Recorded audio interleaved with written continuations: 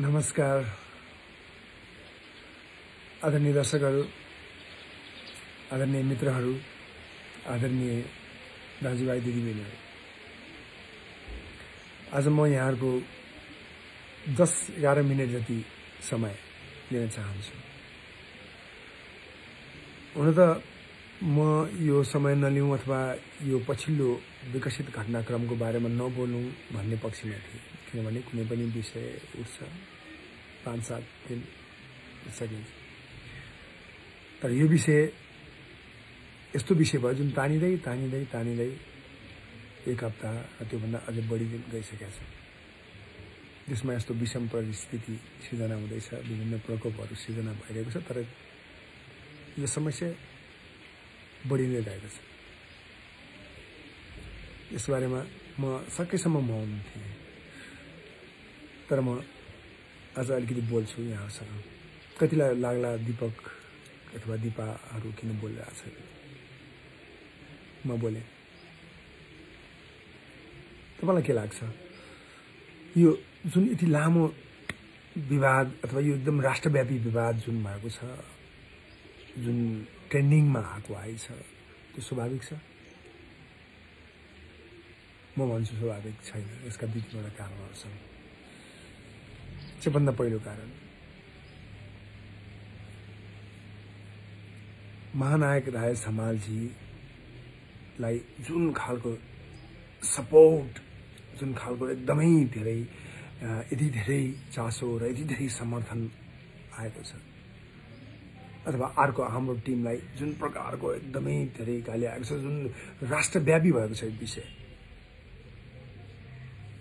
यति धेरै चलचित्रकर्मीप्रतिको अगाध स्नेह यति धेरै चलचित्रप्रतिको चासो यस्तो भइदिएको साँच्चै हो भने नेपाली चलचित्रको अवस्था यो हुन्थेन। वर्षमा एकाध चलचित्र हो कि होइन चलेको जस्तो हुन्थेन। यस्तो धेरै चाख हो यस्तो धेरै प्रेम यस्तो धेरै स्नेह भएको भए नेपाली चलचित्र आज कहाँ पुगिसक्थ्यो? जहाँको चाहिँ अथवा लगभग लगभग समस्याग्रस्त छ। किन? यसको कारण चाहिँ के हो भने यहाँ राय समालजीका फ्यानहरू राय समालजीप्रतिको प्रेम व्यक्त गरिरहनु भएको छ। केही केही प्रतिशत त्यो छ? तर त्योभन्दा पनि ठुलो प्रतिशत छक्का पन्जाब ब्रान्डप्रतिको प्रहार सबैभन्दा प्रमुख कारण हो।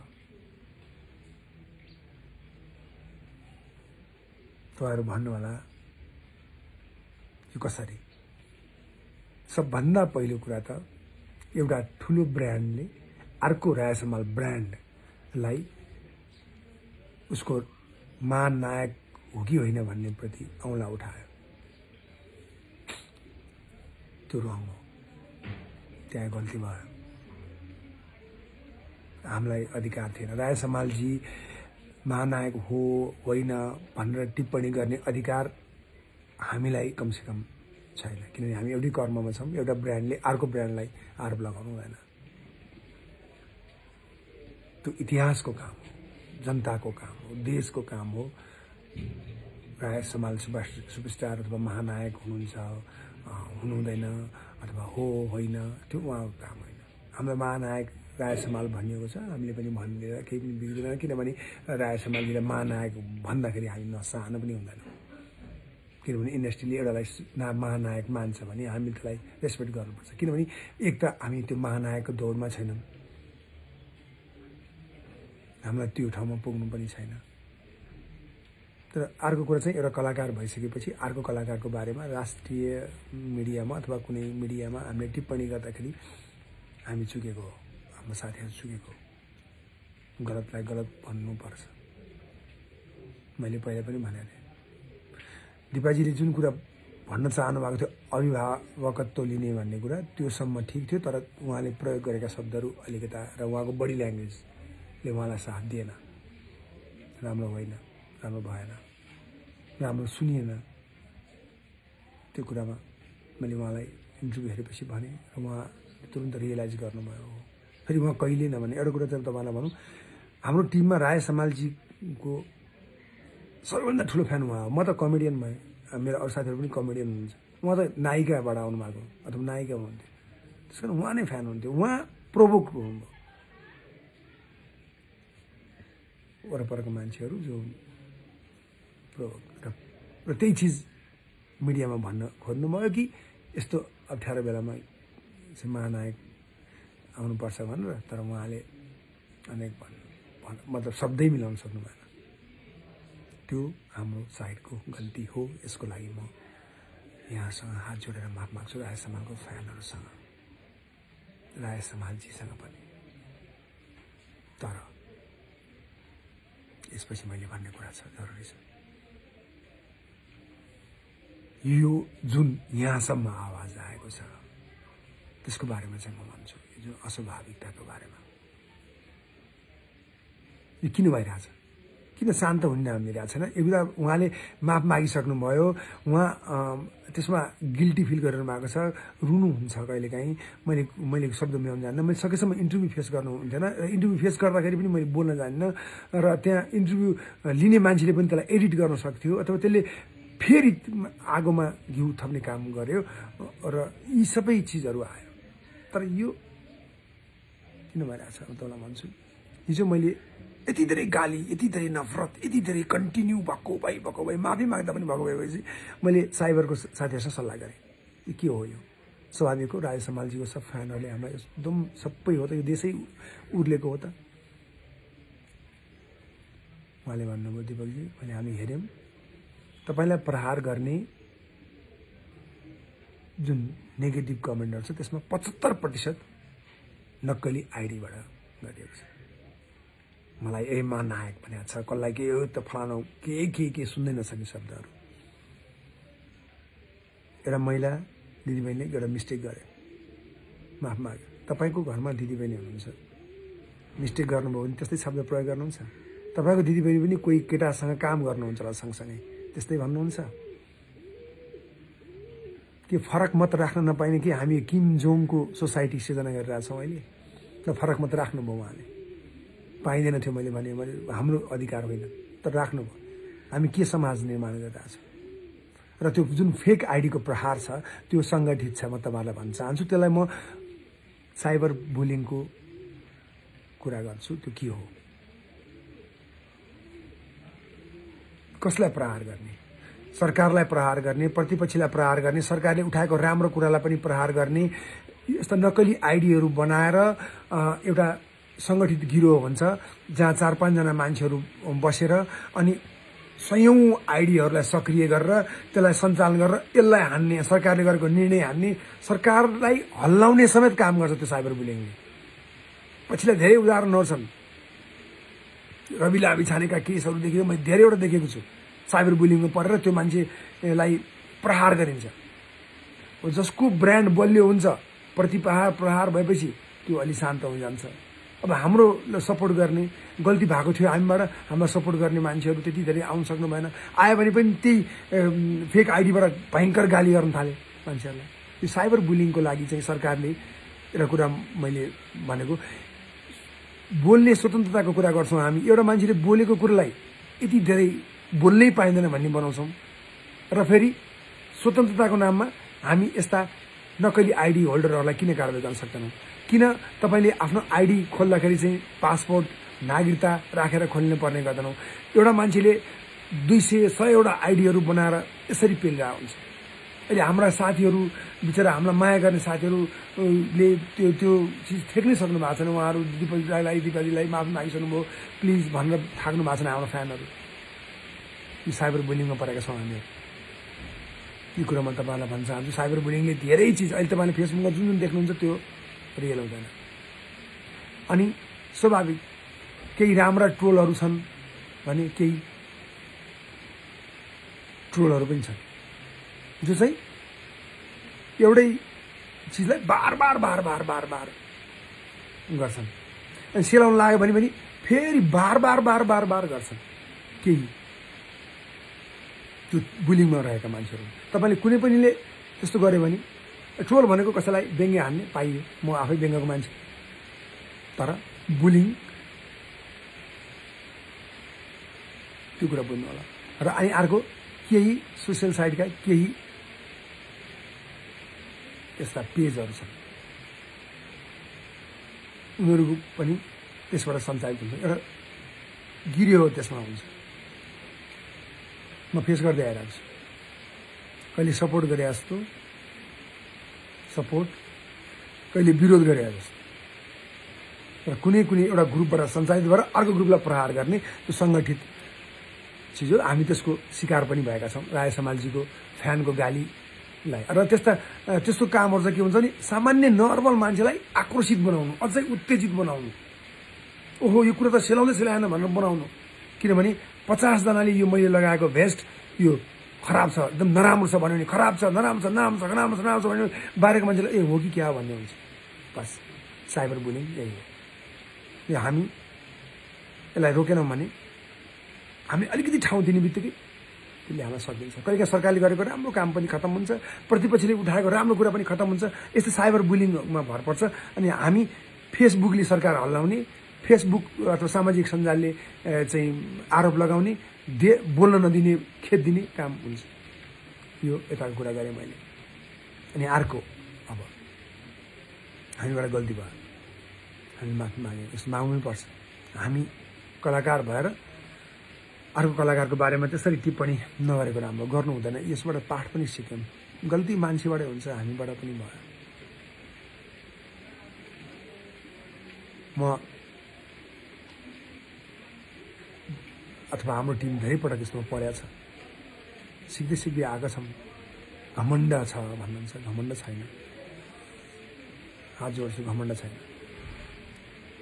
सडकबाट आएको चप्पल लाएर आएको घमण्ड छँदै छैन। अलिकति बोल्ने मानिस किनभने हाँसी व्यङ्ग्यबाट आएको व्यङ्ग्य हान्दै हान्दै हान्दै आएको। अहिले सिनेमामा आइयो घुम्दै फिर्दै यहाँहरूको मायाले। त्यो बानी चाहिँ त्यही नै छ व्यङ्ग्य हानिन्छ किनभने व्यङ्ग्य हान्दै आएको। अब चाहिँ ठुलो भइस् त। तेरो भयमा खुट्टा छैन। अब फेरि हाम्रो नेपाली समाजमा चाहिँ अलिअलि पैसा कमायो अथवा अलिकति प्रगति गऱ्यो भने ए फुल चाहिँ अहिले आज भयमै खुट्टा छैन त्यसको भन्ने छ। हामी हरेक सामाजिक काममा सकेसम्म हात बुझाउँछौँ सिनेमा सफल भए सँगसँगै त्यो पैसामा केही न केही सामाजिक दायित्व पनि छ भने त्यो दायित्वमा लगाउँछौँ कोसिस गर्छौँ। सकेसम्म हल्ला पनि कमै गर्छौँ। दिपाजीले नै पनि कतिवटा चिज गर्नुभएको छ कतिवटा त्यो कुरो यहाँ कसरी भन्नुहुन्थ्यो किन भन्नुहुन्थ्यो प्रचार गर्नु गरेछौँ घमण्ड छैन। प्रभुको भगवान्को डर छ। तर मान्छेमा कहिलेकाहीँ चिप्लिन्छ तर यो कुरोलाई लम्बाउँदै लम्बाउँदै तान्दै तान्दै अब त भयो चुप्प लाग्यो अब त भयो भने तानेको छ तानेको छ तानेको तानेको साइबर बुलिङले हो यो।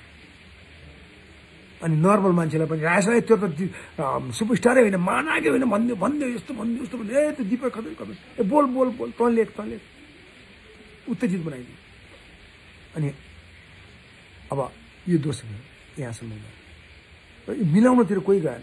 अहिले पछिल्लो चरणमा दिपाजी एकदम मलाई गिल्टी फिल भयो रुनु भयो महिला मान्छे अनि अब के गर्ने? माफ मागिसक्नुभयो र हाम्रो साथीहरू जीवनभर केही साथीहरू। जीवनभर राय समालजीलाई गाली गर्नुभयो। त्यो यस्तो त्यो यस्तो कहाँ सुपरस्टार कहाँ यो इन्टरभ्यूमा पनि भन्नुभएको छ। धेरै पटक दिपाजी पहिलो मान्छे होइन। कहाँ यस्तो? तर अहिले आएम विथ राय समाल। राय समालजीसँग म महानायकसँग म दोहोरो चरित्र। यो बेला तपाईँहरूको भूमिका तपाईँ सिनियर कलाकारको भूमिका भनेको दिपाले गल्ती गर्यो। रायजी माफ गर्नुहोस् हामी कला चलचित्र कलाकार हौँ। सन्देश नराम्रो गइरहेछ भन्नुपर्ने ठाउँमा आएम विथ राय जीवनभर राय समालजीलाई गाली गरेर थाक्नु भयो भने तपाईँहरू मलाई थाहा छ। तपाईँ सिनियर मान्छेहरू नै हुनुहुन्छ। अलिकति लाज चाहिँ राख्नुहोस्। छातीमा हात राखेर सोध्नुहोस्। राय समालजी म श्रद्धा गर्छु म एकदम राम्रो मान्छे हुनुहुन्छ। कसैको मतलब छैन आफ्नै गर्नुहुन्छ आफ्नो व्यक्तित्व छ एकदम राम्रो व्यक्तित्व छ। समाल उभिँदाखेरि पर्सनालिटी राम्रो छ। नेपाली चलचित्रको महानायक हो भन्दाखेरि उहाँको व्यक्तित्व त्यो अनुसारको छ। तर तपाईँले त्यसको प्रशंसा कहिले गर्नु भएन? गाली गर्नु भइरहेछ भने। सुटिङमा ढिला आयो कहिले के गर्यो मस्त गर्दैन यो गर्दैन त्यो गर्दैन। जिन्दगीभर तपाईँले गाली गर्नुभयो तर अहिले आयो उठिरहेछमा होइन? सिनियर हो तपाईँ। अनि केही मान्छेहरू ट्रेन्डिङमा। घर बसिरहनु भएको थियो युट्युबर आयो दिवालीलाई गाली गर्यो ट्रेन्डिङमा आइहाल्छ। अनि इन्टरभ्यू दिन छोड्नु भएको धेरै भएको थियो अनि अँ राजे त एकदम भयङ्कर यता उता उता उता तपाईँले गाली गरेर राजे समालजीलाई ठाउँ ठाउँ मलाई थाहा छ तपाईँ मिलाउनु त जानु भएन यसलाई घिउ जानुभयो सिनियर। नमस्कार तपाईँलाई। तपाईँको द्वैत चरित्रलाई एउटै राख्नुहोस् यहाँ। हामीले गल्ती गऱ्यौँ यहाँबाट पनि। माफी पनि यहीँबाट मागिरहेको छ। यो आक्रोश तपाईँहरूसँग होइन तपाईँको प्रवृत्तिसँग मात्रै हो र पछिल्लो चरणमा दिपाजीको जुन अवस्था भयो माफी माग्नुभयो र थुप्रै कलाकार साथीहरूले लेख्नुभयो सपोर्ट गर्नुभयो दिपाजीले गल्ती गरे हो तर अब माफ गरिदिनुहोस् भनेर लेखिदिनु भयो हिम्मत गर्नुभयो। र साइबर बिलिङमा त्यो नक्कली आइडीले गाली पनि गर्यो तपाईँलाई। कतिलाई इनबक्समा आएर गाली गर्यो होला? किन लेखे त्यसको बारेमा भनेर। त्यो तिनीहरू नै हो। यो मिलाउन नचाहने यो हाम्रो ब्रान्डलाई खत्तम आओस् भन्ने चाहनेहरूको काम। गल्ती गरेकोमा क्षमाप्रार्थी छु टोक्छु हामीबाट गल्ती भएको छ। हामी सुध्रिन्छौँ तर यस्ता साइबर बुलिङहरूसँग यस्ता बुलिङहरूसँग चाहिँ किन डराउनु भने म पनि विद्यार्थी सङ्गठनबाट आफ्नो करियर सुरु गरेको कलाकार पछि भएँ। पञ्चायत व्यवस्था विरुद्ध पनि लडेको छु र हरेक परिवर्तनमा लडेको छु र हरेक पटक अन्याय हुँदाखेरि कसैको लागि सपोर्टमा बोलेको छु। त्यस कारणले गर्दा सडकबाट आएको छु। गल्तीमा म खुट्टै ढोकेर माफ माग्न तयार छु। तर यदि गल्ती हुँदैन अनि अब जबरजस्ती अब गल्तीको माफी माग्दाखेरि पनि तैँले बोल्न पाउँदैनस् भनेर मेरो स्वतन्त्रतामाथि मेरो बोल्ने व्यक्तिगत स्वतन्त्रतामाथि पनि प्रहार गरिन्छ र मलाई यो हामीलाई यो इन्डस्ट्रीबाट खेद्न चाहन्छ भने चाहिँ सडकबाट आएको गाउँमा अलिक जमिन पनि छ। हुँदा टेकिँदैन भयो त्यस्तोसँग चाहिँ। यस्ता सङ्गठित अपराधहरूसँग चाहिँ डर आफ्नो गल्तीसँग डर लाग्छ। गल्ती गरियो डर लाग्यो सिकियो घमण्ड पनि छैन। तर तपाईँहरूले सोच्नु भएको छ यिनीहरूलाई घरमा लखट्छु अब यो एउटा चलचित्र क्षेत्रमा यिनीहरूले गरिरहेछन् अनि यिनीहरूलाई लखट्नुपर्छ यिनीहरूलाई यिनीहरूको फुर्ती धेरै भयो यिनीहरूको भन्ने तपाईँ गलत व्याख्या गरेर अनि यसरी सङ्गठित रूपमा अनि यो ब्रान्डलाई सक्न सक्यो भने तपाईँलाई त्यत्तिकै आनन्द हुन्छ। गाउँघरतिर मुतको न्यानो भन्छ त्यतिकै आनन्द लाग्ने। त्यस्तो छ भने चाहिँ फेरि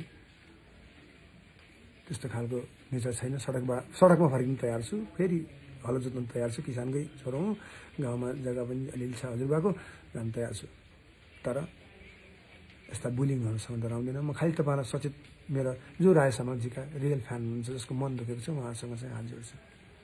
जो जो कलाकारले अहिले यो कुरा मिलाउनु त लाग्नुभयो उहाँहरूलाई पनि नमन छ प्रणाम छ। जो जो दर्शकहरू पनि गल्ती भयो अब मिलाउँ यसलाई। त यति लामो मान्छे मारेको जस्तो यति लामो क्राइम गरे जस्तो।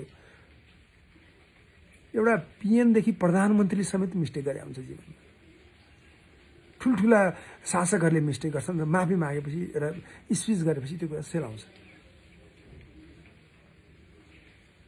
यो सेलाउन सकेन किनभने सेलाउन दिइएन। यिनीहरूको करियर सकिदिनुपर्छ भन्ने मान्छेहरूको बढीमा एउटा मिस्टेकमा त्यस्तो चिज नगर्नु होला जो बुझ्नुहुन्छ हामी हमालजीलाई पनि कोसिस गर्छौँ चाँडै भेटेर उहाँलाई पनि दिपाजी हामी पर्सनली हामीले हामी जुन वक्तव्य पास गऱ्यौँ त्यो जायज थिएन जरुरी पनि थिएन। त्यो चिजमा हामी पुरा गर्नु हामीलाई माफी माग्ने त्यसमा केही पनि सानो महसुस हुँदैन। किनभने गल्ती सबैबाट हुन्छ। माफीले सानो हुँदैन महसुस गरेर सानो हुँदैन केही पनि मान्छे। तर खेद्नै लखट्नै तपाईँ बिरुवालाई बिरालोलाई बाँधेर पिटन थाल्नुभयो भने चाहिँ बिरालो पनि आक्रामक हुनुपर्ने हुन्छ। छोडो जानु तयार हुनुपर्छ। तर अन्यायसँग अत्याचारसँग जबरजस्ती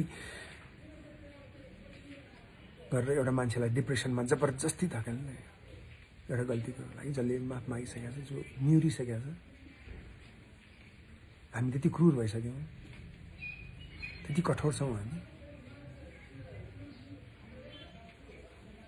यो चाहिँ अलिक बढी भयो होला।